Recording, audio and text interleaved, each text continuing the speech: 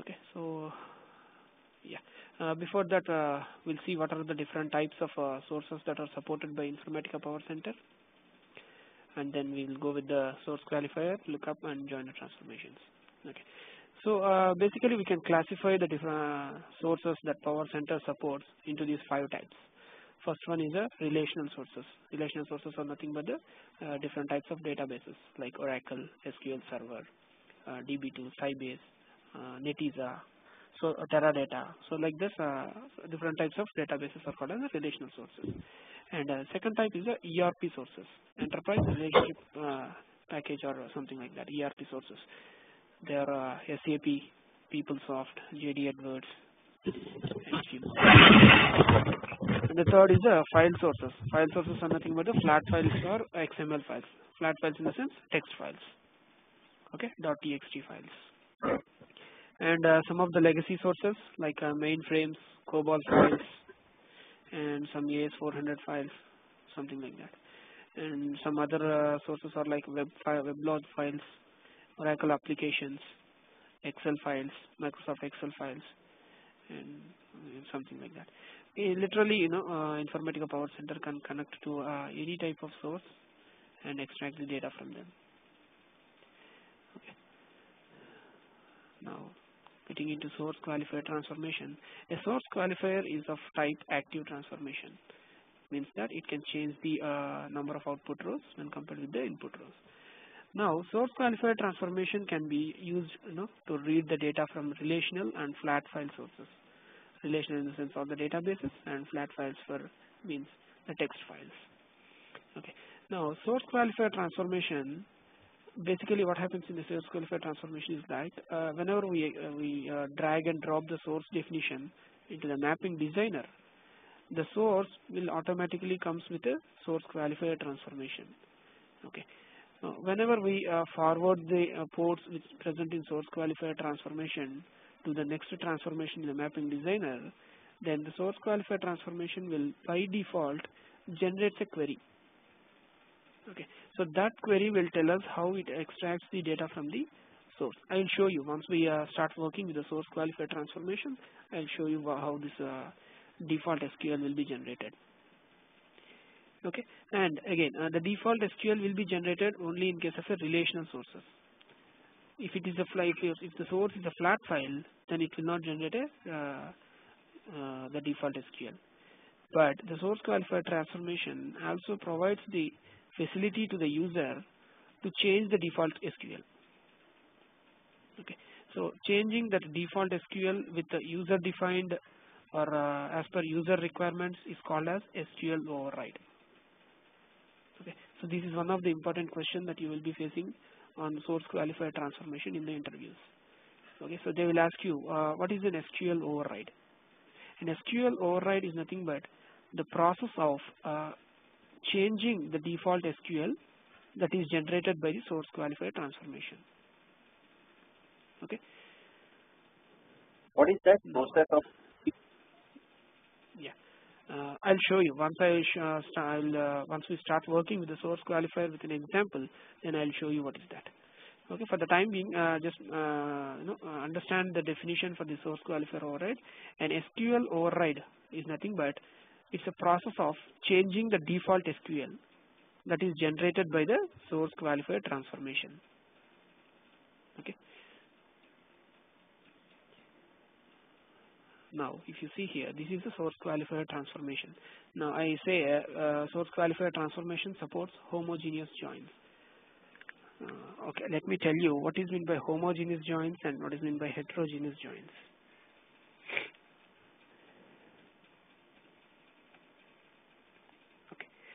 A homogeneous joins means the same types of sources. Say, for example, you are trying to join two tables which are present in the same data under the same schema. Okay. Now let us say ORCL is my database. And source is my schema. Now under the source schema let us assume we have two tables called EMP and DEPT department table and employee table. Now these two sources are called as homogeneous sources because they are present under the same schema and under the same database. Okay. So for example there is other database called oracle. Oracle is different. Oracle is a okay. Uh, don't let me don't get confused orcl 2 this is another database. And you have another schema something like that uh, something some abcd and say for example you have a table called xyz now since this EMP table and department table are under the same schema and under the same database. These two tables will be called as a homogeneous tables or homogeneous sources. Okay. Whereas the table xyz when compared with uh, in comparison with the department table or with the employee table these will be called as a heterogeneous sources because they are underlying in a two different databases and two different schemas. Okay so heterogeneous sources also doesn't need to always to be a database okay? You can have a flat file source. Some abc.txt is your source file. Assume till now uh, in our in all our examples we worked only with the database tables. But in today's example I'll also show you how to work with a text file as a source okay?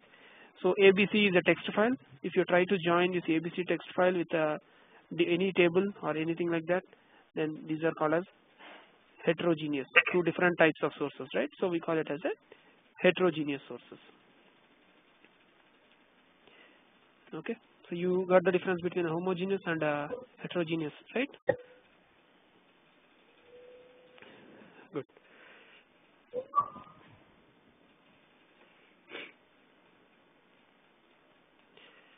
So a source qualifier transformation will support only homogeneous joins we'll see how it does. So this is how the properties of a source qualifier transformation will look like. If you see this under the properties tab of a source qualifier I have SQL query. So here sorry uh, in this SQL uh, the, under the value in this box actually the source qualifier transformation will generate a default SQL but we can change that. So the process of changing the default SQL is called as a SQL override we can also specify the user defined join join condition. We, we can also specify the filter condition. And we can also specify the number of sorted ports that we want. Okay? Uh, we can also select the distinct values while reading from the source. So these are the different properties that are provided by the source qualifier. Now let's go back to let's go to the lookup transformation. Okay lookup transformation is of type passive transformation until informatica 8.6 version and earlier versions. Okay. From the 9.x version onwards from 9. Point, uh, just a second guys. Yeah. Uh, from 9.x or 9.1.0 version onwards the lookup transformation has become active transformation. Okay. So uh, you can say uh, this lookup transformation as one of the differences if they ask you in interview like what is the difference between a 8.x version and 9.x version? So this is one transformation you can mention there. Lookup transformation was a passive transformation in 8.6 and previous versions whereas from 9.x this has been made active transformation. Okay. Now lookup transformation uh, lookup uh, the, lookup transformation is something like you know uh, say for example you have a an employee table or something like that and you want to get some details which is present in a different table for each record present in your employee table then you will do the uh, lookup onto the different table which is present into the database or you can also do a lookup onto the flat file and you know pick the respective values from the table or from the flat file. Okay. Now lookup also supports uh, user defined uh, SQL query and that user defined SQL query the process of uh, writing the user defined query is called as a lookup override. And a lookup transformation supports again the homogeneous joins means the same same type of sources. And lookup transformation can be used in both connected and unconnected ways. In our in today's session, we'll see how to uh, use a lookup transformation as a connected source, and later point of time, uh, once I start discussing about the advanced concepts of uh, Informatica, I'll teach you how to uh, use the lookup transformation as a unconnected transformation. Okay. Now, uh, if you uh, remember uh, for aggregator while discussing the aggregator transformation, rank and sorter transformation, I was discussing about cache memories. Now, lookup transformation is also one kind of transformation that makes use of cache concept. But with a with a slight change, lookup transformation actually supports four different kinds of caches cache concepts. The first one we call it as a static cache. Second is a dynamic cache. Third is a persistence cache, and fourth is a shared cache. Okay. Uh, I'll tell you what's the difference between uh, four of these uh, cache concepts while explaining the example. So next one would be the joiner transformation that we will be discussing. So joiner transformation is an active transformation and joining transformation can join only two sources at a, at a, at a time. It can't uh, join more than two sources at once. Okay and joiner transformation performs horizontal join. Horizontal join and vertical joins means, so for example,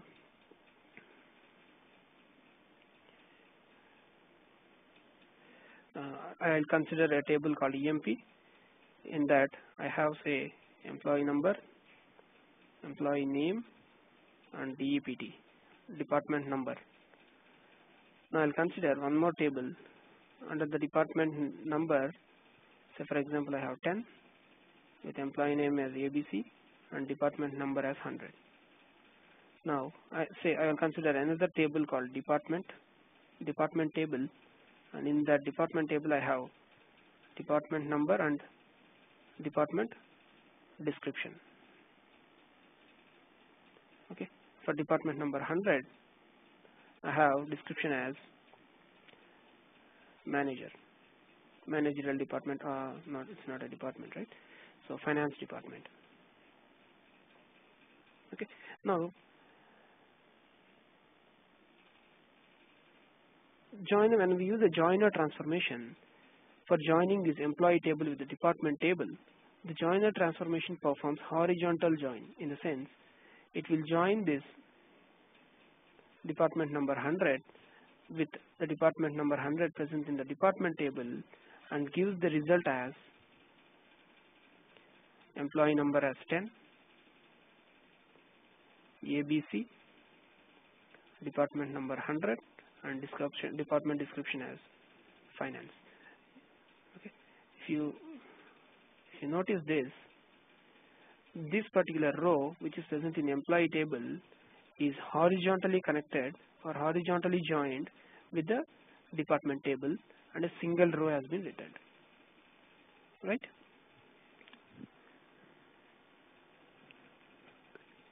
So this kind of join is called as a horizontal join. There is another kind of join called vertical join. Okay. But for to make the vertical join there should be common records between Uh, EMP table and common columns between EMP table and the department table. If I want to perform the same join between uh, a EMP and department in a or in a vertical manner then it would something look like 10 ABC 100 and for the department field I'll have null for the second record I'll have null for this null 100 and finance. You observe this? You recognize the difference between this uh, vertical join and a horizontal join?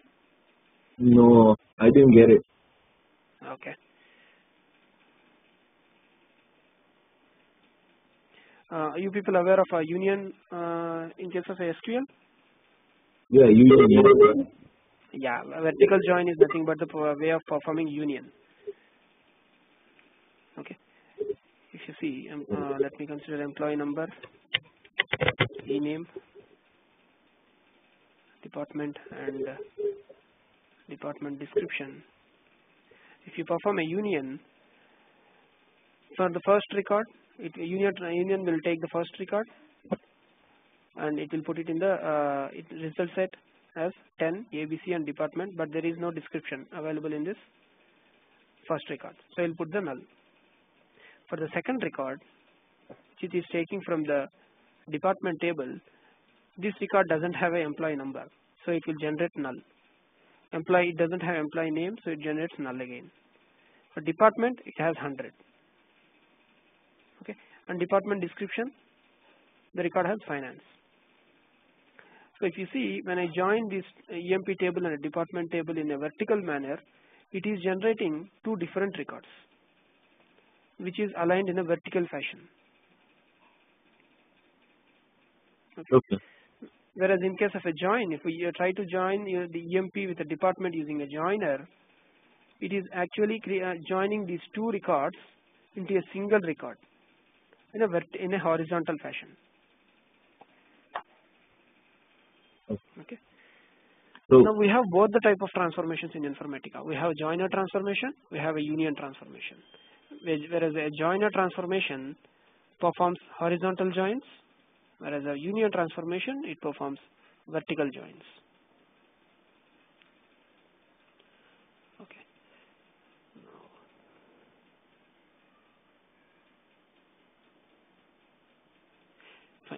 Uh, as I said, the joiner transformation supports two types of uh, two only two sources at a point of time.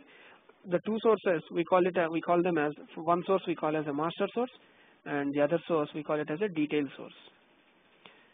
Okay, and joiner transformation supports four types of joins. The first one is a normal join, second one is a master outer join, third is a detail outer join, and fourth is a full outer join. When I say normal join, it gives the matched rows between a master source and the detail source. Only the matched rows between your master source and the detail source. If I say master outer join, it is like you can uh, you know you can remember it as master out detail in.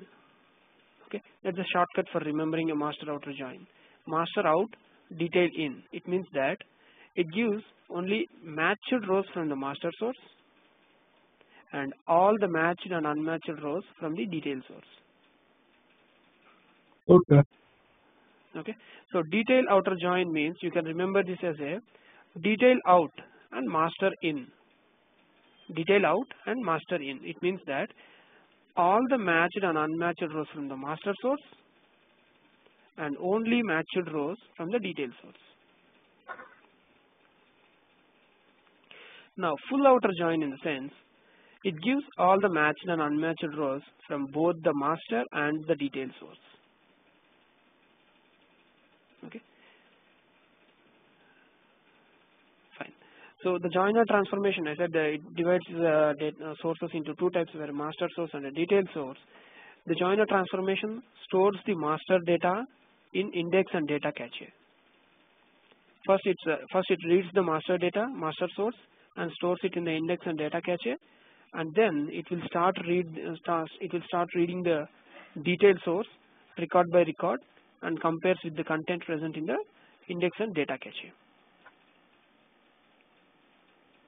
Okay, and joiner transformation again it supports only two sources at a time, and this is how a joiner transformation will look like in a mapping designer. If you see, I have a source one source. Okay, uh, we call these kind of uh, the employee file 1 and source employee file 1 these kind of things as a pipelines in a mapping designer in an ETL plan. Okay. I'll say this first one as a first pipeline. Okay. This as a second pipeline. So pipeline is a terminology or a term which we use in a ETL mapping. Okay. So first pipeline second pipeline are joined using joiner transformation So you see uh, the data, the employee ID which is picked from the first pipeline into the joiner transformation are defined as a master source. You notice this? You uh, could you uh, if you can uh, follow the arrow mark. Employee ID one as defined as a master. Yep. Okay. So the remaining ports, employee ID, employee name and city, which is coming from the pipeline 2 are defined as a detail source. Okay. Now, uh, when, whenever we uh, joiner transformation supports only equi joins. Okay. So if you see join condition here, employee ID 1 is equal to, we, we wrote the condition as employee ID 1 is equal to employee ID. It does not uh, support, the joiner transformation does not support non-equi joins. Means that you can't say employee ID 1 greater than or equal to employee ID, less than or equal to employee ID. So those kind of non-equi joins are not supported by your joiner transformation. It supports, it always supports only a equal join, equi joins. Okay, and you have also specified the join type here. If you see master outer join. Okay, fine. Now let's go with an example and show you how to work with each of these transformations. Then you'll get a clear idea on this.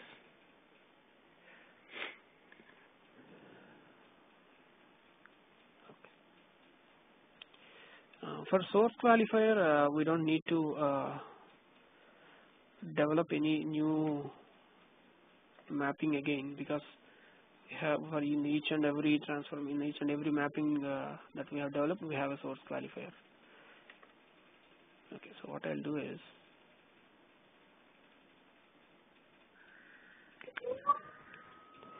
okay. Uh, I took the example of uh, m underscore sorter example. Now, when when we develop this, uh, we, we by default the source qualifier transformation will come in the ETL designer uh, ETL mapping, right?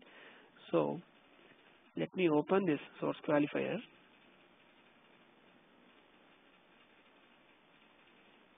Go to the properties tab. If you observe in the source qualifier transformation, I have SQL query. Right?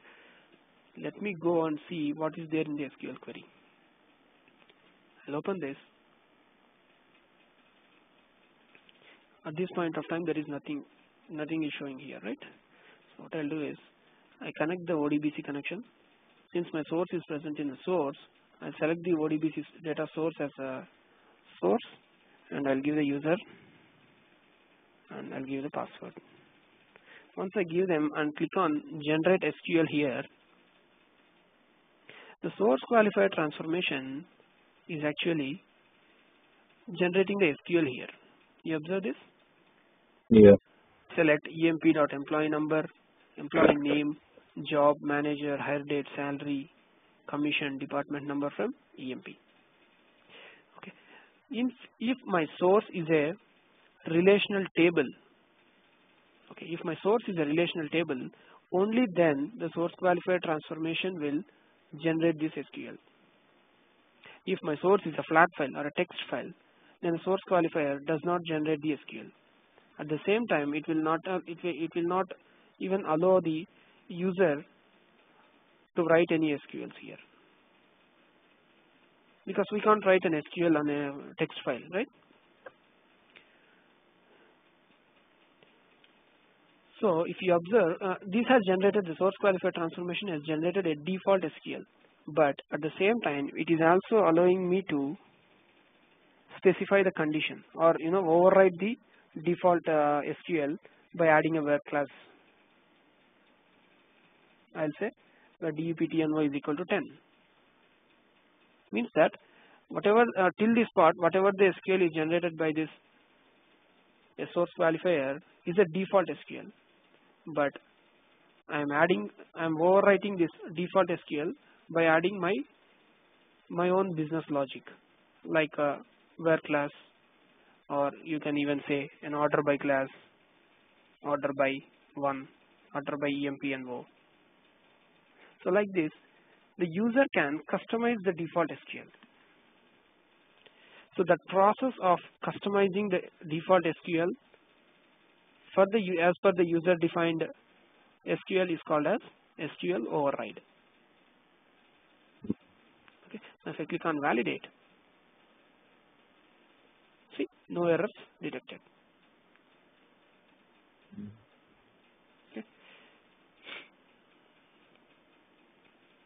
Now let me also show you one thing here. Okay, before uh, let me remove these things. Now see, uh, I have this right now, but uh, now if I click on generate SQL, Mm. again see the, the whatever the uh, customization that I done has been removed and it has generated the default SQL. You observe that where class and order by class it, it has removed everything. Yep. Now just notice this it is selecting the employee number, employee name, job and all these details. Okay, just remember this. Now what I'll do is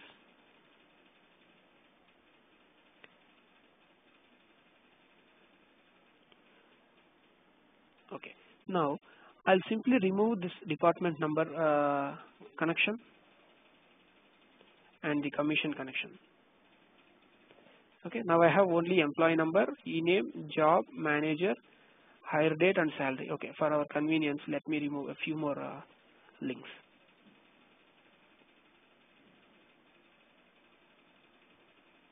Okay if you see I have only three ports employee number employee name and job has been forwarded to the sorter transformation. Now I'll open the source qualifier. I'll go to the SQL query click on generate SQL you see it has it, it wrote that the source qualifier uh, has written the query in such a way that it is picking only the employee number employee name and job. It is not picking the remaining uh, columns from the source. Yep. okay. It means that source qualifier transformation will generate the SQL based upon the ports that we forward from source qualifier to the next transformation. Okay? There it, it uh, so it is internally the source qualifier transformation is internally ensuring that it picks only the required ports and passes to the next transformation so that the performance can be improved significantly. If you see this manager uh, hire date these ports are not given to so- sorter so selecting the, or you know extracting the data reading the data from the source for these columns is unnecessary. So the source qualifier transformation is internally ensuring that it it picks it or it reads the only the required ports from the source and passes it to the next transformation. Okay. Now what I'll do is I'll connect these ports back again. Now if I try to generate the SQL see it is picking all the ports whichever which are all the forwarded to the next uh, transformation all those ports it is picking here. Okay. So that's how it works. So the I can even uh, override this SQL default SQL by adding my my own required uh, business logics like where class order by class or even I can write uh, functions in this okay so that is called as SQL override. Now you can ask me how can we uh, perform joins? I said while explaining the PPT I said the source qualifier will support homogeneous joins. Means that uh, it supports only uh, means it joins only the tables present under same schema and same database. Let me show you how to write how to write an uh, join here. I'll say select EMPNO ename job manager everything department number and here I'll simply overwrite the query saying DEPT uh, first let me see if the table exists in my source or not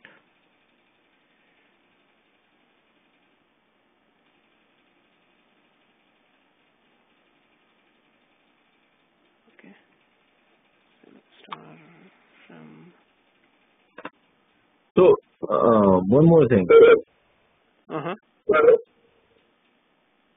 Um, hold on, just a minute. My voice, is not clear. Just a minute.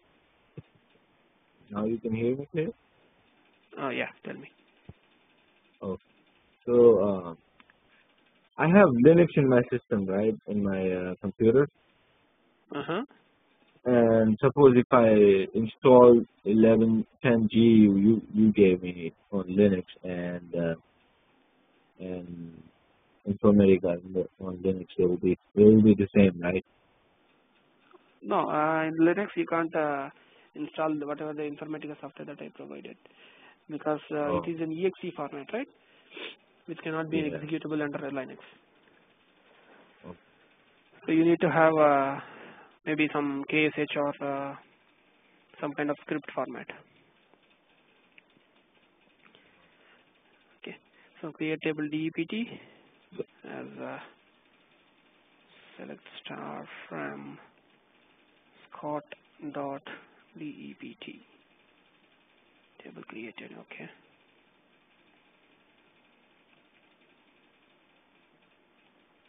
Okay. Now, uh, you see, I have this uh, EMP table and uh, DEPT table under source schema in ORCL database. Now, observe how I write the query here. DEPT dot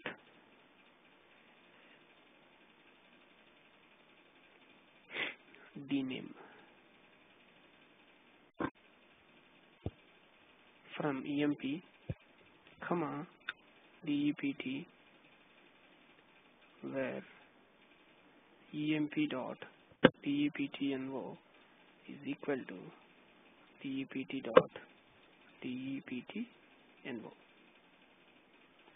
But before I validate this query, sorry, I need to have the description field here.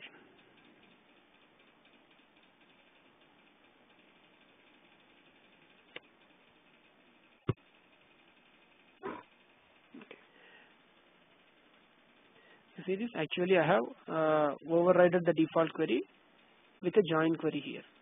I am trying to join the EMP table and the department table. Okay. Yeah. Uh, again, the, both the tables are under the same schema called source and under the same database ORCL. Now, if I click on validate, query should return exactly eight fields to match fields projected from. Oh, okay. Just a second. Did you observe the error? I created the name, but I did not project it to sorter. Okay, let me show you the error again. Note, uh, remember this, I have created the dname uh, port, but I did Mhm. not forwarded it to sorter transformation. So the default SQL will generate only or will pick only from EMPNO to DEPTNO. It will not pick dname. But in our uh, override query, I am trying to pick dname also. Mhm. But this is since this dname is not forwarded to uh, sorter transformation, ideally this should not we should not write this here. So that is the reason when I click on validate, it is saying that query should return exactly eight fields to match fields projected from source qualifier from the source qualifier. Okay, means that I am projecting only eight fields here. One, two, three, four, five, six, seven, eight fields from the source qualifier to the sorter transformation.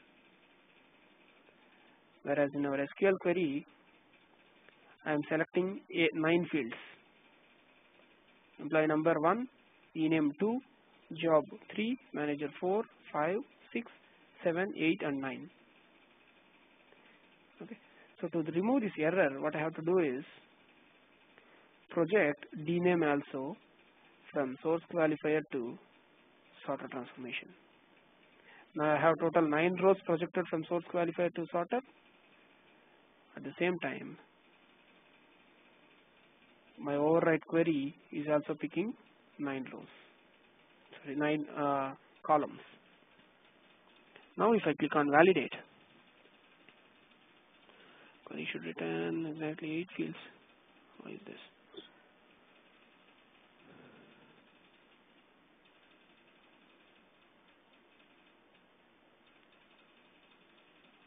wrong.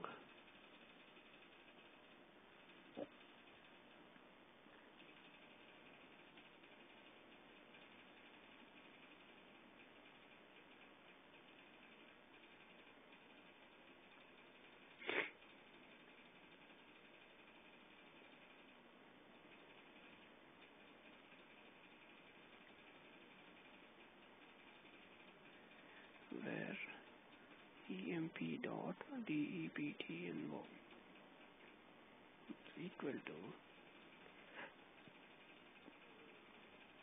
nvo.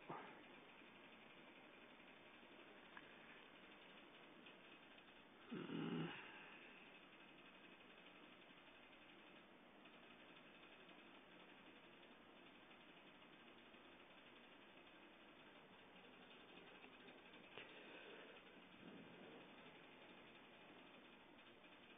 is valid.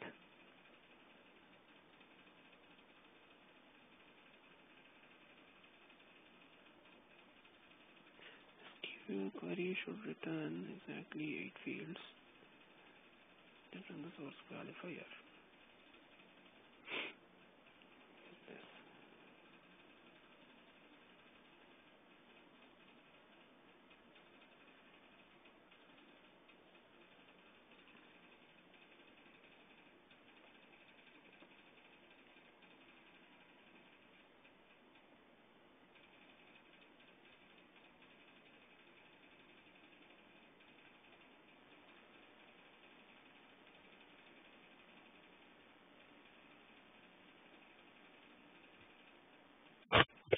It's working. Yeah. Some issue. Okay. I'm not sure why this error is coming here. Hmm. But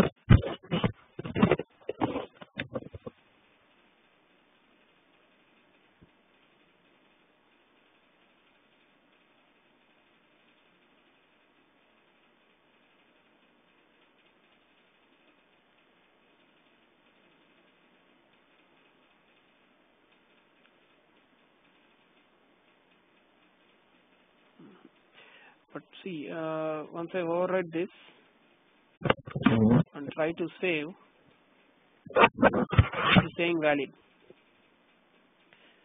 Okay.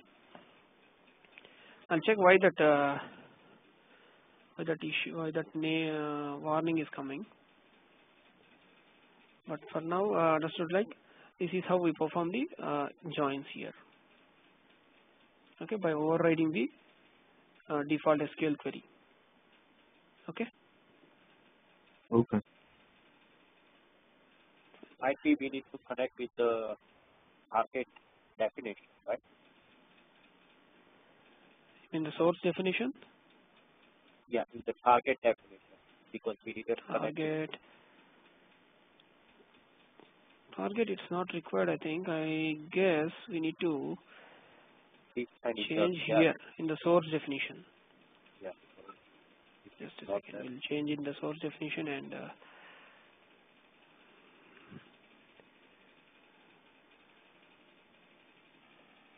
EMP in EMP I'll create a new port called dname okay. I'll say dname department name varchar 2 okay this is all fine. Apply ok and once I say control S you see this? In the mapping it has not been automatically changed dname. Okay. Now I'll connect this dname with the source qualifier. Now I have from the source definition and source qualifier and from source qualifier to sorter I have total 9 ports now let me validate this. Okay. See this? No errors detected okay. So we need to uh, create this dname in the source definition also. Okay. But if I change this source definition all my remaining mappings will go invalid because uh, in all the mappings I am using uh, same right? So dname.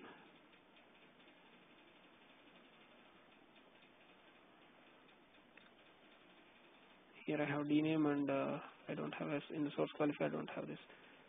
Let us see what happens. Okay it is still valid. Okay good. Sorted.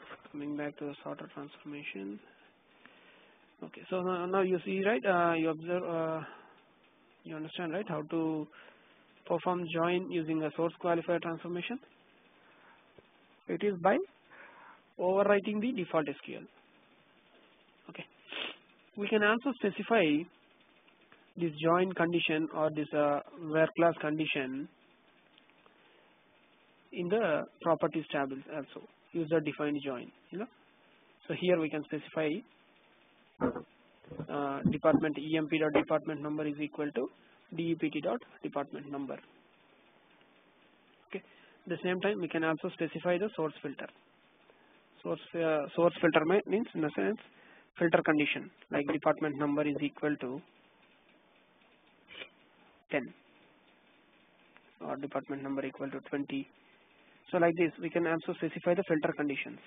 But uh, remember that we should not uh, say where we should not put this where uh, where class while defining the filter condition at the source filter level in the source filter uh, properties tab. Okay? So don't put this where class. We can you have to just specify like department number equal to 20 or whatever the filter condition okay? Now here number of sorted ports. Number of sorted ports in the sense either we can specify the order by class order by employee number like this in the SQL override or we can also specify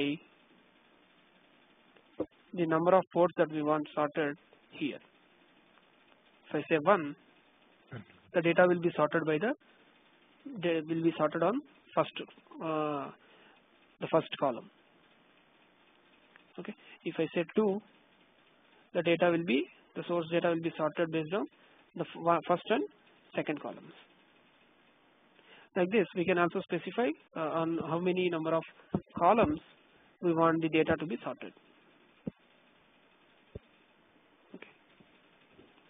Now, uh, you see this pre-SQL and post-SQL. Pre-SQL in the sense, before reading the data from the database into the Informatica level, if we want any of the queries to be executed at the database level, then we can specify that in the pre-SQL part. Okay, so uh, generally what happens in a real-time scenario is like uh, say for example you are trying to read from a source table which is of very huge size okay you have some 10 or 20 million records in your source and you want to read the data from that source into your informatica for processing.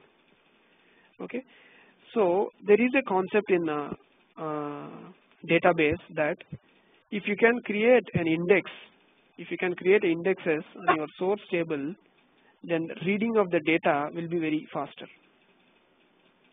Okay now since you have a huge number of uh, records in your source it is always better to have an index. So what we can do is in the pre-SQL part we can simply say create index index name on the source table. Okay. So we can write a query in the pre-SQL uh, area saying that create index on index index name on your source table. So this query,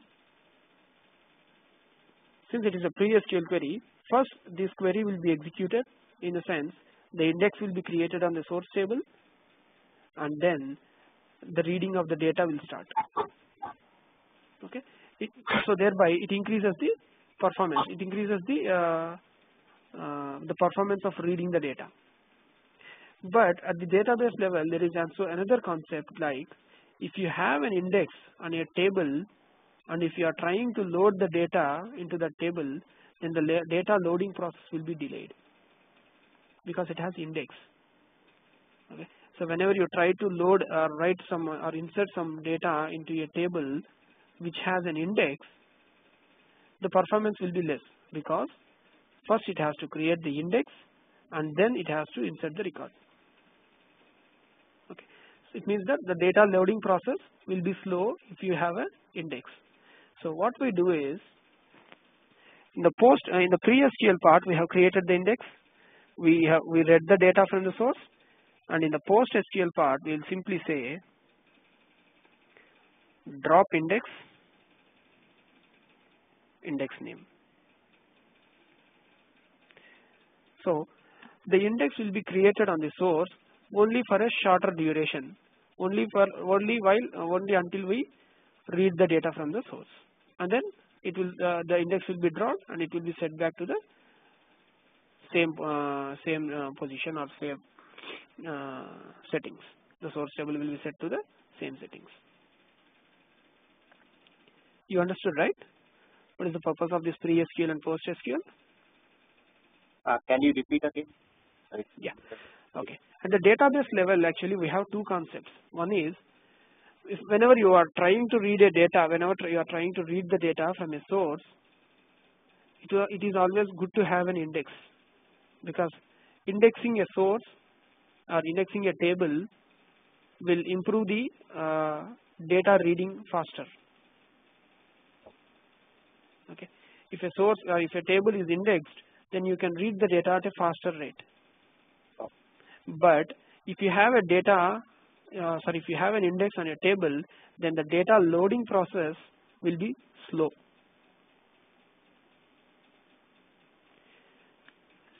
Let me put it this way. Say for example uh, I have uh, an ETL plan or ETL mapping 1 this ETL mapping 1 is actually loading the data into a table called employee. Means that here ETL mapping 1 is loading the data into the table called employee. Okay. And then from the employee table my ETL mapping 2 is reading the data okay? Observe. ETL mapping 1 is loading the data into the employee table and ETL mapping 2 is actually reading the data from the employee table. Now if I create an index and leave it as it is on the employee employee table then the performance of the uh, ETL mapping 1 will be less. Because while loading the data into the employee table first it has to create the index and then it has to load the data into the employee table so the ETL mapping 1 will perform very less. Whereas the employee table has the index, my ETL mapping 2 will be faster. Means that creating an index on the employee table is impacting the ETL mapping 1. Okay. So to avoid this situation, what I will do is in the ETL mapping 2, I will say before reading before reading create the index. Before reading create the index on the employee. And immediately after reading drop the index on employee. Means that before reading I'll create the index so that my ETL mapping 2 will be faster and immediately after reading the data I'll create I'll drop the index so that employee uh, the ETL mapping 1 will also be faster. So nothing uh, no mapping is getting impacted here.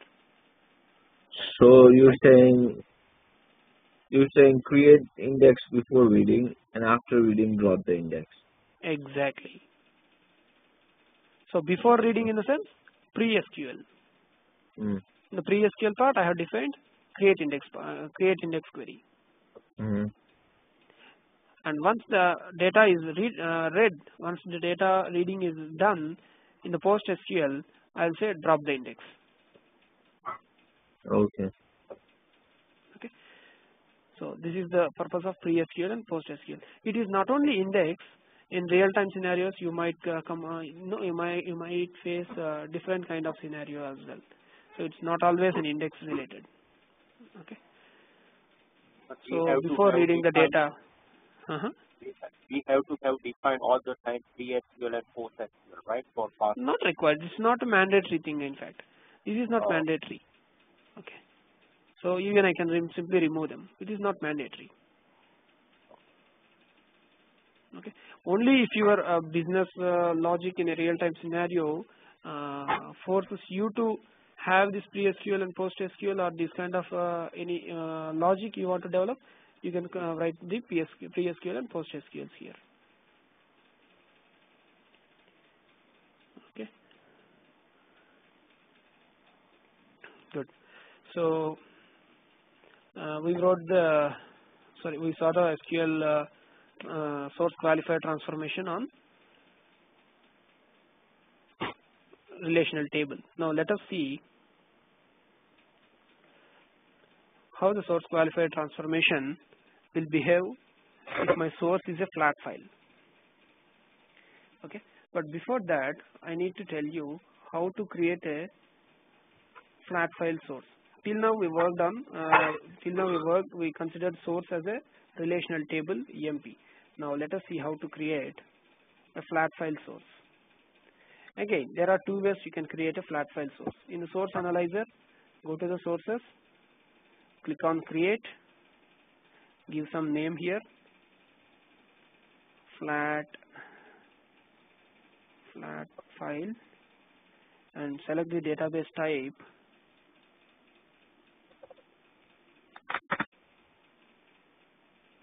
In the database type. You see flat file here. Files a flat file. Click on create. Click on done. Okay now this flat file this particular source definition is of type flat file. And immediately the, under the sources if you observe there is another uh, option or uh, another uh, another thing has been created apart from sources. It is flat file and under that all the flat file type sources are stored. Okay. Now flat files or, or a text file can be of two types one is a delimited flat file and fixed width flat file. Delimited flat file D E L I M I T E D delimited flat file or delimited flat uh, text file. A delimited uh, text file in the sense the columns the columns present in a delimited flat file are are separated by some delimiter. Maybe the delimiter can be comma or a pipeline. Okay. Or uh, you can have any delimiter at the rate symbol or a hash like that. Okay. For example let us uh, uh, assume the delimiter as comma so like this I have employee number e name, salary and EPT and now under the employee number I have 100 separated by comma and there is a name ABC and then salary and department number. Now 200 XYZ 2020. Now if you observe the data in my delimited flat file are separated by a comma, comma separator or delimited by a comma. Okay. You understood right this? Yeah. Okay. Now there is another type of flat file called fixed width flat file. Now let me save this and show you how does a fixed width flat file will look like.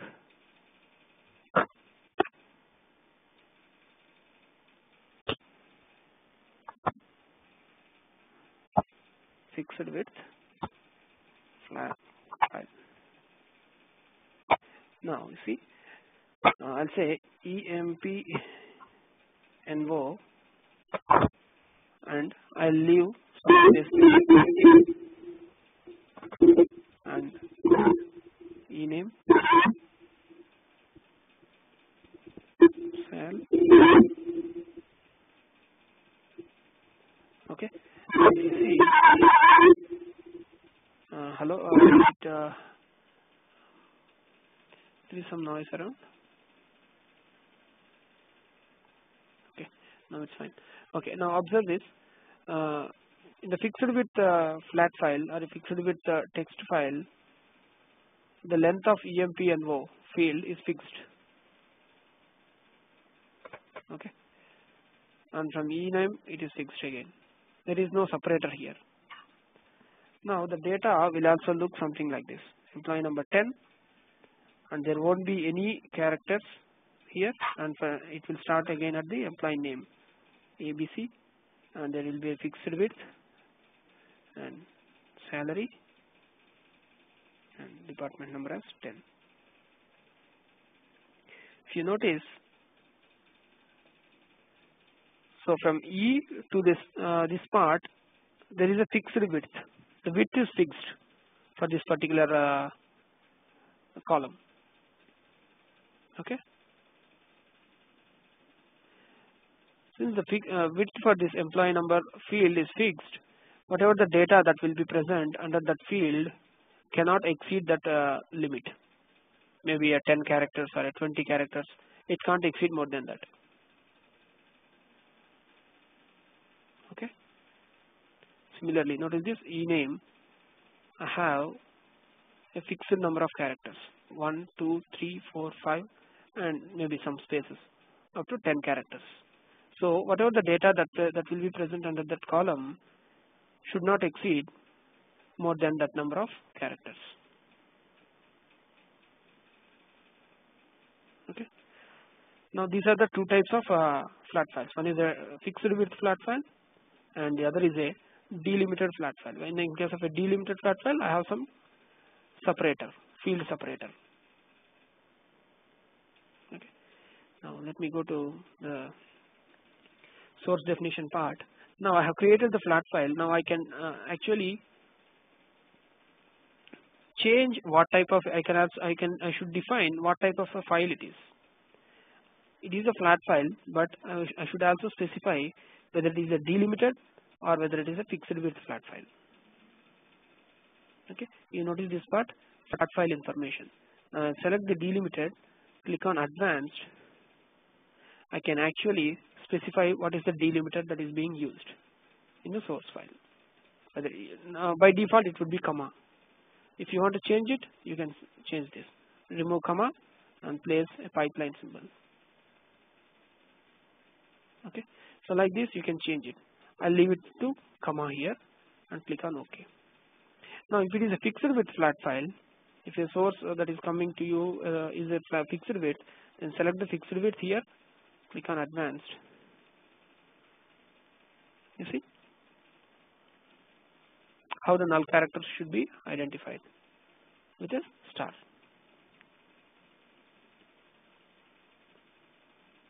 Okay. Go to the delimited, click on advanced, and if you see in the bottom of this there is a uh, property like number of initial rows to skip. Means that if you open this delimited flat file that we just uh, defined, the first first row present in this uh, flat file is a header, right? So we should not load this header into the target, correct? Means that the data reading from the source file has to happen from the second row onwards. So in order to have that, we should we should skip this first record and then start reading from the second record. So okay, this um, property. Kishore? Yeah. First of all, uh, I'm not clear with the concept of delimited. Okay. Uh, the delimited, as the name itself suggests, uh, the columns uh, or the fields present in the source file are Mm -hmm. separated, delimited by some uh, operator. Either it could oh, be a comma, okay or a pipeline, okay. something like that. Mm. Okay. So whenever you are creating a source definition, mm. okay. So I created the flat file uh, source definition as a flat file. Mm. So we need to specify what type of a file it is. Is it a delimited? If it is a mm. delimited, specify what is the delimiter that is being used in the source. Okay. I got it. Okay, it is a comma. Yeah mm. comma and from which row the data reading has to happen. Okay. If you see number of initial rows to skip. Okay, I'll set it to 1 because in my source file the first record is a header. So I don't want to read this and load it into the target. That is uh, that is an uh, error, right? Yeah. Because the actual data is present from the second row onwards. So in the source definition, I have to specify how many rows should be skipped. Initial rows should be skipped. Those are one. Okay, click on OK, apply, and OK. Now this is one way of creating. Now you have created only the definition. Now go to the columns tab and create the ports. So this is one way of creating the so source definition, a text file source definition, flat file source definition. Okay, the other way of creating a source definition is go to the sources. You see the option here import from file Okay. so click on import from file. Now it will uh, it will give you a browser browser kind of thing. So I have created the file in the desktop. So I'll go to the desktop. By default, the Informatica Power Center Designer will try to search for .dat file, DAT file. Okay, whereas we created .txt file.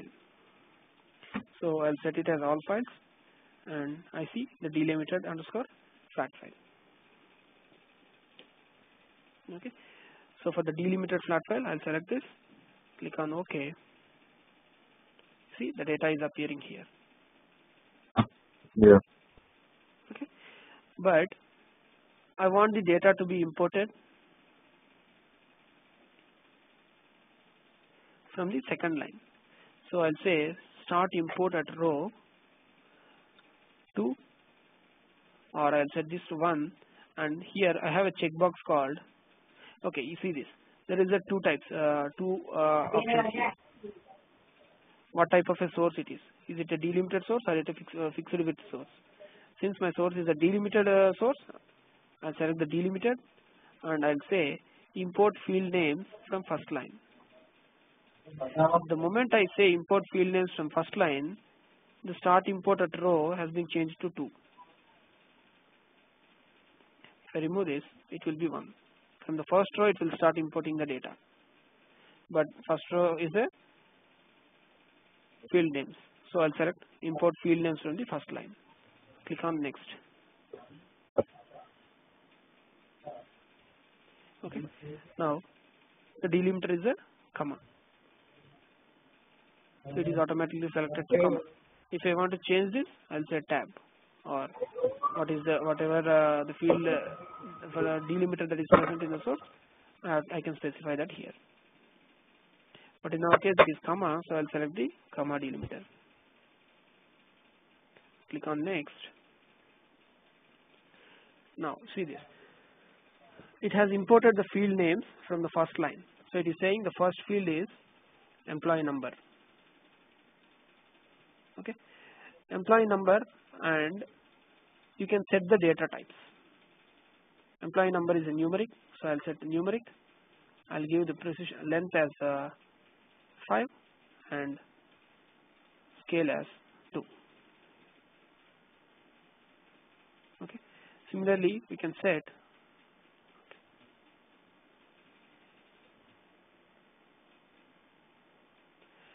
now I'll set the data type for the ename as text. And uh-huh. salary as numeric again and department number also numeric. Click on finish you see the data the source definition has been imported.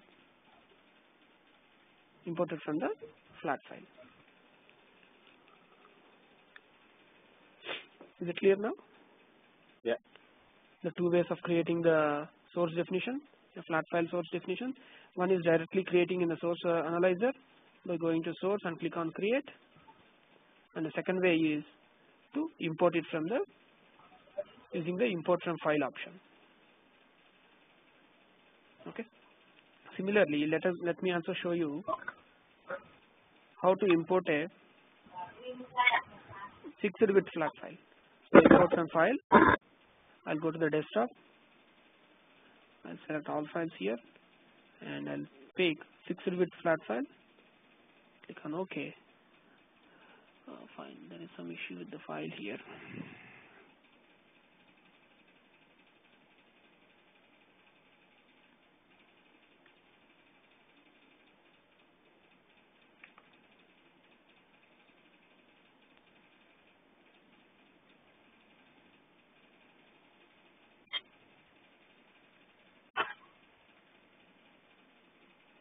Say employee number. I'll give one two three four five and e-name salary department number employee number 10 e-name ABC salary 1000 and department number 10 similarly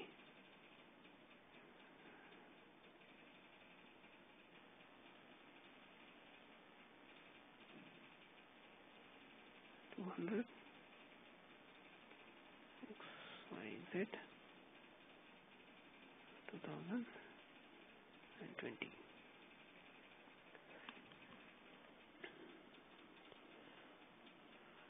Okay, now in the source analyzer, if I try to import from file the desktop, I'll select uh, fixed width flat file. Click on OK. Now again it is giving me two options what is the type of source? Is it a delimited or a fixed width? So since my source is a fixed width I'll select fixed width file and I'll select I'll I'll inform uh, I'll inform this wizard to pick the field names from the first line. So I'll say import field names from first line. Click on next. Now if you see we can actually specify the delimiters here if I click on this path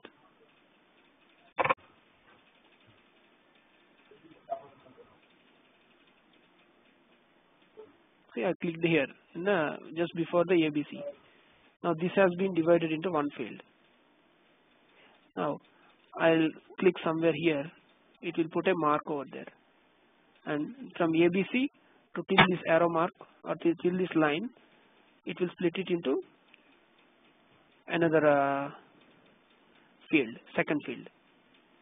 Or if I want to remove this,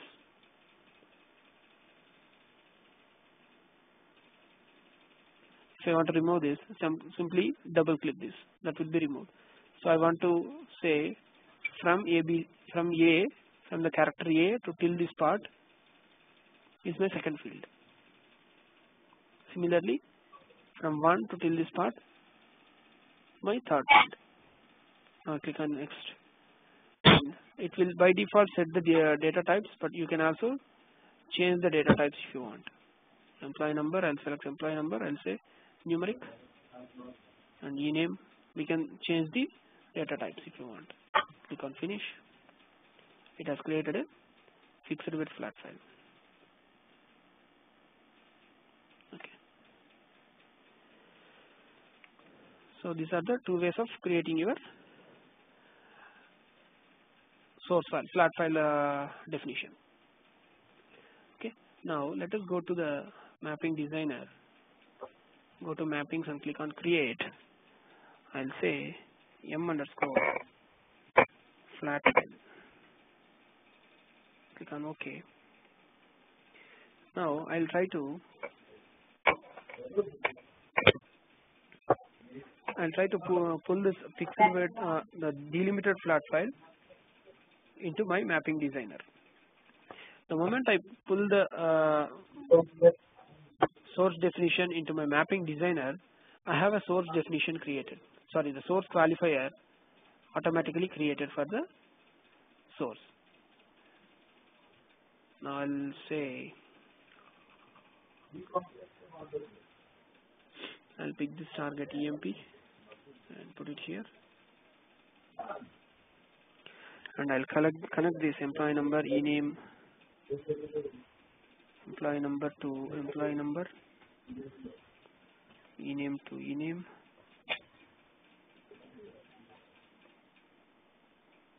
Salary to salary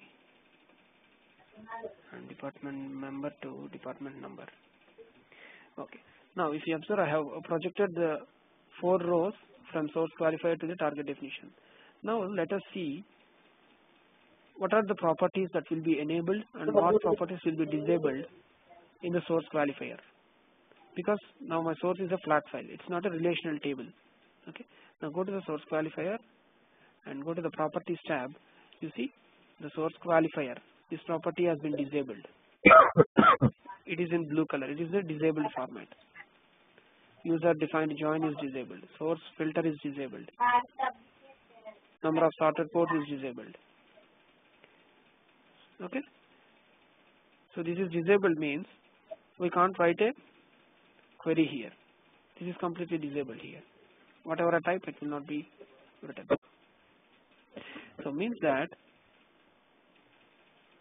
if my source is a flat file we cannot write user defined SQLs in the source qualifier. It means that it will not support SQL override. If my source is a flat file you got the difference right how the source qualifier will behave if my source is a relational table and how the source qualifier will behave if my source is a flat file did you get the difference Yeah. right okay. Yeah, but um, uh-huh. so can, can you can you uh, repeat this again? Definitely Like just just again. Yeah. Okay. Uh, what we'll do is we'll take this filter example. Okay. In the filter, in the, in the filter mapping, the source is a relational table. So if you observe the source qualifier, if you open the source qualifier and go to the properties tab, you see the source qualifier, SQL query, user defined join, all these are enabled. Okay. Means that the source qualifier transformation is allowing the user to write a query, a user defined query. Okay. So it is Yeah. uh, it is allowing for SQL override concept. Whereas if you select the if your source is a flat file, I'll I'll show the flat file uh, mapping now. If you here if the flat the source is a flat file, means the source qualifier transformation. Go to the properties tab. You see all these properties are disabled. So it means that this, if, if your source is a flat file, the source qualifier does does not support SQL override concept, and also you cannot join anything. You ca- since you can't write an SQL, you can't join. You can't write a join uh, statement. In flat file. Yeah, in a flat file. Okay. But let us assume a scenario. I have two pipelines, uh, just like this. Uh,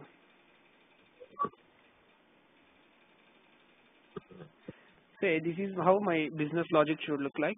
I have in the first pipeline I have a source qualifier, uh, sorry, a relational source, and in the second pipeline I have a flat file Okay. then how will you join these two pipelines?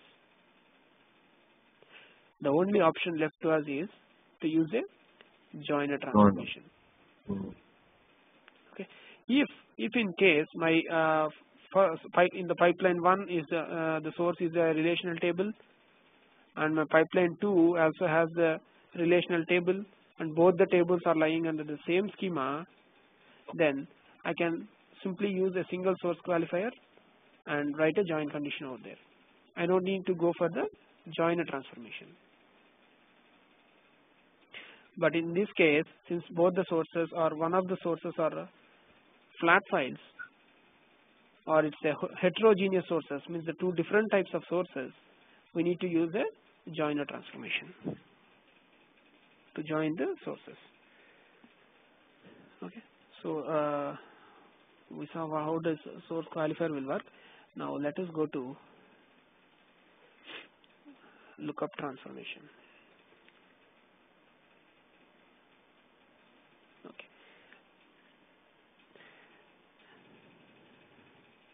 Uh, as I said, the lookup transformation, the aim of this lookup transformation is to uh, pick the related values by looking at some other table or a flat file or uh, a view or a synonym. Now, say for example, I have a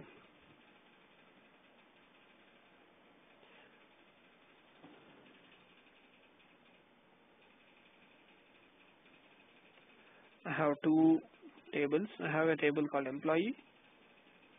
Okay, let me show in this.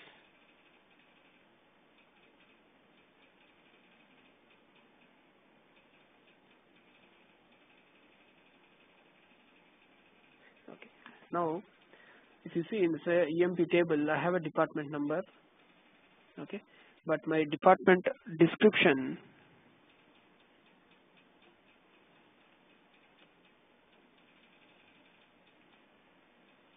my department description d name is present in a different table okay now my requirement is something like I want to know the department name for each of the records present in my EMP table okay so one way you can do it is join both this EMP table and department table by using the department number field and then pick the department name that is one way of doing. The other way of doing is using a lookup transformation. What I'll do is I'll take a lookup transformation. I'll pass the uh, data that is coming from employee table to the lookup transformation.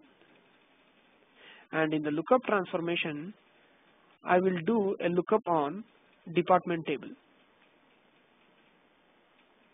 Okay? And then in the lookup transformation I will specify the condition like match department number of the employee with the department number of the department table. So let us take an example and do it. For this first I need to have a target definition created Let's underscore LKP. I'll give a short name as LKP.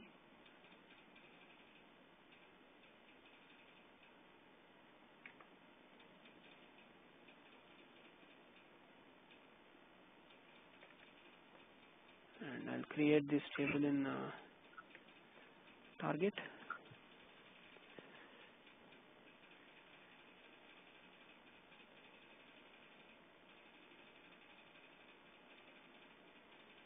sorry. Target generate or execute SQL. Generate or execute. I want this table in the target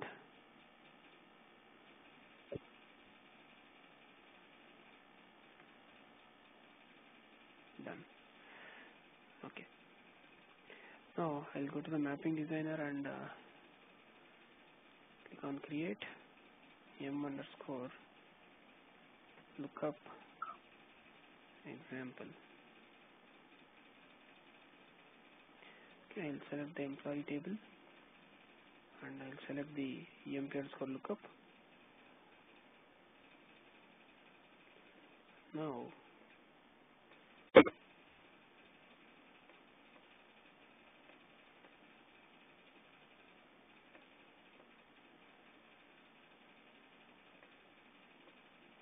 okay you observe I have department number that is coming from the EMP table okay? But I want the department name in my target okay? Along with the department number. But my department name is present in a different table called DEPT okay? Now what I'll do is I'll select a lookup transformation. This is the shortcut for lookup transformation. And when the when I try to create a lookup when I try to create the lookup transformation in my mapping designer it will basically ask me like in, on which where the what is the lookup source? Means that in our case the lookup source is the department table I want to do a lookup into the department table and then pick some of the values present in this uh, department table and join it with the employee table. So my lookup when I, the moment I try to create the lookup transformation, it will ask me what is the source and where the source is existing. The source can exist in either source database or it can be present in a target database. Okay. Now see this import. I can import the source either using a relational. Uh, can, my source could be either relational or even a flat file. So I'll say import the uh, lookup source from using a relational table. The moment I select it, it will ask me to choose the ODBC connection. Means that my source for this lookup transformation can exist either in a source source side or it can even exist in the target side. Okay. In my case, the source is present in the lookup source or the source table for the lookup transformation is present in source database. So I'll give source and give the credentials for source ODBC connection. Click on connect. It will show all the tables. Now for the lookup transformation, I want the source table as I want the source table as department. So I'll select the department and click on OK. The lookup transformation, if you see, it has it picked the column names, department number, department name and location from the department table. Okay. Now,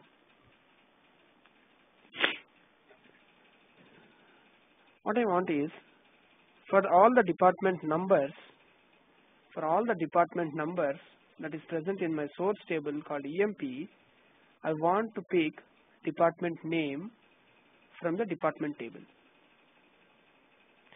So how what I will do here is I will pass the department number port that is coming from EMP source to the lookup transformation. You see this?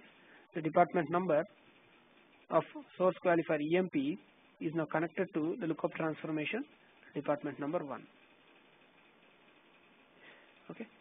Now in the lookup transformation, I'll open the lookup transformation. I'll go to the conditions tab. I'll create a new condition. In the new condition, I'll say, you see the lookup table column. Lookup table column department number. I wanted to equal make uh, equal to department number one. This is the transformation port. See ports tab department number, department name and location are lookup table ports whereas the department number is coming from the transformation that is source qualifier transformation port. So in the condition tab I'll match them like lookup table column department number with the transformation port department number. I'll apply this condition. And click on OK. Means that department number 1 that is coming from the source qualifier I am equating it with the department number which is present in the which is coming from the lookup source. And from the lookup transformation I'll pick this department name. I'll you see this is an output uh, output port department name I'll pick this department name and connect it to the target called department name. So now what happens is the lookup transformation it will start reading the records record by record from the source. It will compare this department number that is coming from the uh, source with the department number present in the lookup source lookup source is nothing but our department table.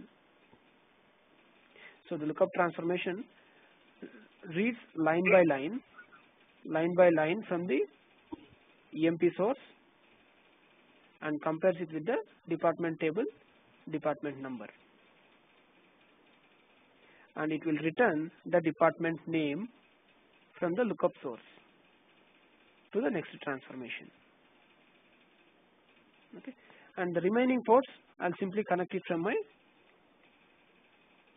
source qualifier.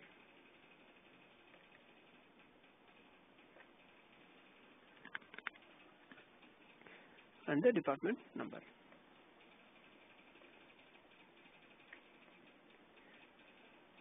You understand this? What this lookup transformation is actually doing? A uh, little bit confused. Can you repeat? Uh huh. Yeah, sure. So what happens is uh, the lookup, as the name itself suggests, lookup. We are trying to look up into some other source okay for for each and every record that is coming from source qualifier we are looking up into some other source and picking some required data from the other source and in our case we are trying to look up into department table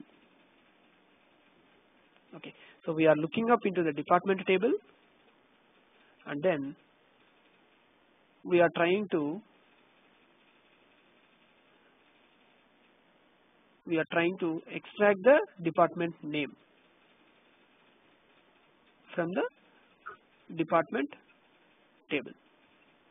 So how we are joining the department table and the source qualifier or the source using the condition called department number is equal to department number 1 in the sense we are trying to match the department number in my source with the department number in the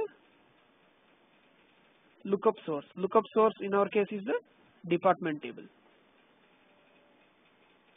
Okay. So we are making a join between the lookup source and the source qualifier using this condition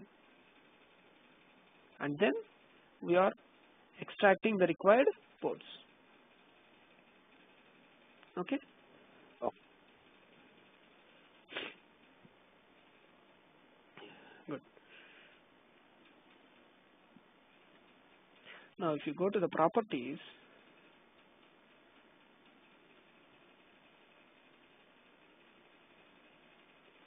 see this.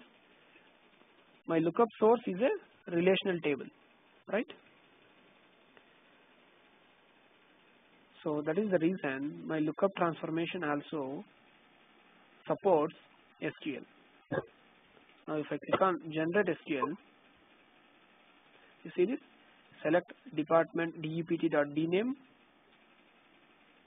and as dname and dept.location as location and DEPT number as DEPT NO from department table. It is writing a SQL query similar to the source qualifier transformation. Okay. Now we can even uh, override this by adding conditions like where class or group by class or order by class. So we can write the we can modify this default SQL that is written by the lookup transformation okay. So the process of modifying this default SQL which is written by the lookup transformation is called as a lookup override okay. Again uh, since uh, this is generating the default SQL only because my source is a relational table in case if I am trying to do a lookup on a flat file the data present on a flat file then all these properties will be disabled again. The lookup override will be disabled. The filter source filter will be disabled. Okay. There is a lot to discuss about this uh, lookup transformation. So uh, what I'll suggest is uh, try to go through the today's uh, recording, uh, understand till what uh, till this point, like what this lookup transformation is doing, and then we will try to go more deeper into the lookup transformation. Okay. Okay. Yeah. Because I also want to uh, tell you like uh, this this property lookup policy on multiple match. Say for example, uh, what what this lookup transformation does is it will read the record from the source. It will read the record from the source, and it will try to compare it with the lookup source table. Lookup source table is department table. It will try to join the create a uh, join. Okay. In case if it finds multiple matches, say for example in the department table, this department number 10 is present twice or thrice more than once, then it means that multiple matches is possible, right? Between the employee table and the department table. Now in that case, which now if, the, if the three records are matched, now which match which match should be or which record should be returned as output? For that we can specify the policy here. Lookup policy on multiple match. You see this by default it is uh, we set this to use any value. If it finds three matches or more than one match, we set by default it is uh, set to use any value, any one value. But the other possible values are use the first value means that use the first matched value or use the last matched value, use any value or return an error or report error.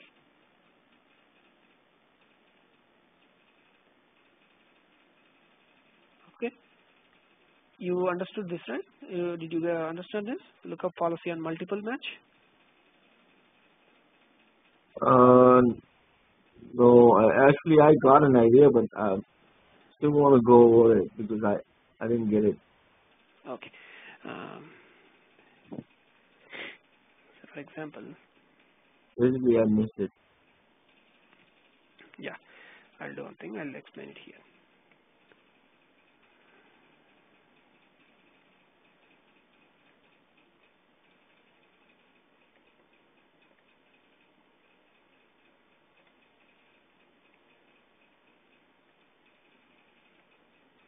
Say this is my source.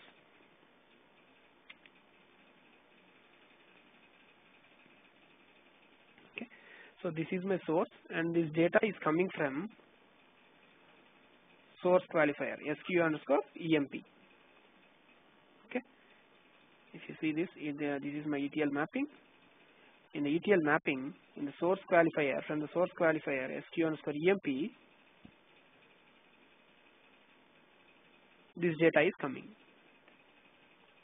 Okay, and I have a lookup transformation here, which is trying to look up on department table. Okay. Okay, fine. So uh, observe this property. Lookup caching enabled. Okay, I have checked this. Uh, by default, this option is checked. Okay, you see this uh, property cache lookup values during the session. The moment this property is enabled, the lookup transformation will select or you know retrieve or read the data that is present in the department table and stores it into the cache file. Okay, you got this right? Lookup caching enabled. It means that the lookup transformation will read the table, department table and selects or reads all the data present in the department table and stores it into lookup cache memory. Means that in the lookup cache memory, cache memory, I have this data. Okay? Till this point clear? Yeah. Good. So from the source qualifier SQ underscore emp, this data is coming for me, and the lookup transformation looked up into department table. It read the records and stored it into the lookup cache memory. Okay. So the next step is the lookup transformation will read record, record by record from the so SQ underscore emp. First it will read the first record from the source qualifier underscore emp. First record. Since we pass in the uh, if you look at the lookup transformation, we passed only the department number to the lookup transformation, right? So Yeah. the lookup transformation will read the department number from the first record and it will try to join that record that department number with the data present in the lookup cache lookup cache. Okay? So how it joins uh, the department number this 20 with which value it will join? That property we defined in the in the conditions tab. We said join the department number in the lookup table with the department number so it will read the department number from the source qualifier and it will join it with the department number in the cache memory okay. and then once if it finds the match it will return it will return the department name. It will return only the department name because we connected only we forwarded only the department number port from the lookup transformation to the next transformation. If in case we forward this location also say for example we connect the location port to the next uh, transformation then it will return both the department name and the location information. Okay? Means first it will read the department number from the source qualifier. It will try to join that department number with the department data present in the cache memory. Once if it finds the match matched value then it will return the department name to the next transformation Okay. so now you understand how this lookup transformation works Yeah, it's kind of similar to join. Join. Exactly, it's similar to join. But uh, the thing is, the lookup transformation has a property like it can not only do a, a lookup on a department uh, relational table, but also a flat file. Flat file. So, so Okay. we can able to connect with two different sources. Yeah. Like Yeah, two different sources. Okay. Yes, exactly. Yeah. Now, I'll tell you, uh, since you understood how this lookup transformation works, now let me tell you what this lookup policy on multiple match does. Say for example, in my department table, I have multiple entries for department number 20 for department 20 the first uh, department name it is showing as research. But here I'll say finance. it's a finance. And some some location. Xyz doesn't matter. And I have one more uh, match 20 and production department. And some location ABC now say for example this is how my department the data in my department table. The moment the lookup transformation reads the data department number from the source and tries to find a match in the department table there are multiple records here. For the same department number there are multiple records. So out of these multiple matches which match needs to be picked up that that is this property lookup policy on multiple match so we should define some policy how this how uh, how this how the match should happen and which value needs to be returned. Okay, so the possible values are use first value. When I say use first value, the moment the lookup transformation matches this department number 20 with the department table, it will pick the first matched value. Okay, it will pick the first matched value and as a department name, it will return research. okay, if I select use last value, if I say if I set this property to uh, use last value, then out of these matches, it will select the last matched entry and it will return production as the department name. Okay. If I say use any value, use any value, then also it will return only the first matched value. Okay, or in fact it can uh, you know match any value also. It can uh, return finance or it can return production. Any value it can return. Okay, I also have one more property called report error. Okay, report error. If any of if if the if the match if multiple matches are found between your source, source qualifier and your and your department table, then generate an error and provide it to the session task or the integration service. Okay, so that is this property. Lookup policy on lookup policy on multiple match. There are four possible uh, policies or po possible values. Use any value, use first value, use last value, use uh, return or report error. Okay. Now, so you understood, right? Uh, what are these four properties done? If I said uh, use any value, it will give any value and uh, what the first value, last value, and report error gives. You understand, right? Yes, sir. Good. Now, till version 8.6, Informatica Power Center 8.6, only these four values or four policies are available for this lookup policy on multiple match property. Okay. If you observe these four properties, I'll, the lookup transformation will take one record as input.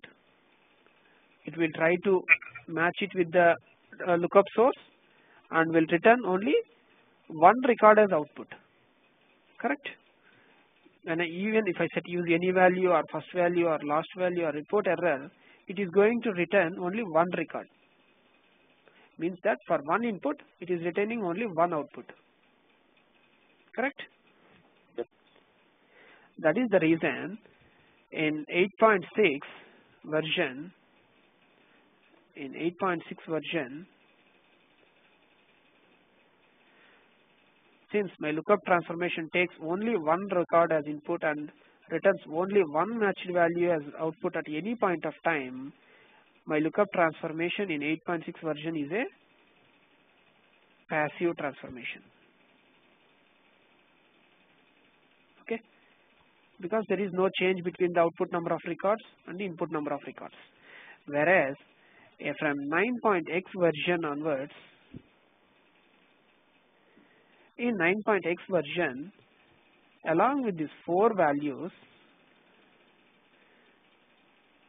along with these four values, they have also introduced a fifth option called return all matched records. Return all matched records. This is the fifth property or fifth policy that is newly introduced in 9.x version. So because of this particular property, my lookup transformation behaves in a different way. Means that it will select the uh, department number 20 from the source qualifier transformation. It will match with the department table. It will return all the matched records from the department table. If I select the fifth option, return all matched records. In a sense, it returns me three records for one input, for one input record. Correct? Yeah. So that is the reason from 9.x version onwards, the lookup transformation becomes active transformation because it it gained uh, the, the lookup transformation gained the property or gained the it gained it is capable to change the records between your output and the input. Because of this fifth property called return all matched records. Okay. Good. Hope you got some idea on this lookup transformation. Yeah yeah okay. Um so uh, what we'll do is uh, we'll just we'll stop at this point because you can go back and listen to the recording and uh, gain more knowledge on this lookup transformation. Okay? In the next session we will see I said the lookup is uh, storing the data in a cache memory right? So in our next session we will see what are the different types of lookup caches available and what is the difference between one cache with the other cache can I ask you uh-huh, yeah uh is there any any way you can uh you can give me nine point one too? Uh, 9.1 version. Uh, actually, I downloaded uh, the software, but not sure uh, due to some reason it is not working. I tried to install it in my system, uh, but due to some Okay. reason, uh, you know, it is almost giving me some errors. Okay. Uh, wh- what we can do is, uh, you know, as a last session, uh, what is what the thing is, I have this 9 point version in my uh, uh, office laptop. Okay. In Uh-huh. my project, actually, I am working on the 9.1 version. Okay. So what we'll do is, uh, once we finish all our course contents, as a last step, Uh-huh. we'll see some of the differences between 8.6 version that I am currently working on with the 9 version. Okay. Okay. Because, so I'll, uh, I'll make. Uh, uh I tried to download from Oracle website, you know. Yeah, yeah, yeah. I Yeah, downloaded from I'm- there itself, but uh, uh, due to some reason, it is giving me errors. Yeah, same thing. Same. Yeah, yeah. Even the 8.6 version also, I tried to download it from uh, Oracle site, but that was not working due to some reason. So that's Yeah. why what I did is uh, I had one uh, 8.6 version, older version, uh, in my which I have purchased actually. Mm. Okay, so I took that software, but the license key I picked from the Oracle site. Uh huh. I clubbed them both and gave that software to you people. Oh, nice. Yeah, because the one uh, I have purchased actually, uh, that license has got expired almost one year back. Oh, okay. So that's why I couldn't give that uh, license to you people. So I picked the license key from the Oracle site. I clubbed it with the software that I had, and uh, that that software I gave to you people for download. Okay. Okay. Yeah, so no uh, worries. We'll do that. Uh, yeah, as a last uh, session, maybe we can have one session completely, and uh, you know, we'll show you all the differences by showing the 9.1 version. Okay. Okay. The way we work between the 8.6 and the 9.6, there is no difference at all. It, Yeah, it it's same, huh? it- it- it's exactly same. Only a multiple, uh, very very minute uh, changes. Like this, in the lookup, there is a new property, and in 9 version, there are a couple of uh, new transformations, and some uh, fixes has been uh, bug fixes has been given in 9 version. So apart from that, there is nothing much uh, to learn in that. Okay. No. Good. So you will set it to use any value. Uh, apply. Okay. Fine. So uh, in the next session, we'll learn uh, what are the different types of caches that is available under lookup, and the differences between each of those caches, and also we'll see what happens if we do lookup on a relational table, and what happens if I do lookup on a flat file. And also we'll try to uh, execute this mapping in the next session. So today we finished like source qualifier transformation.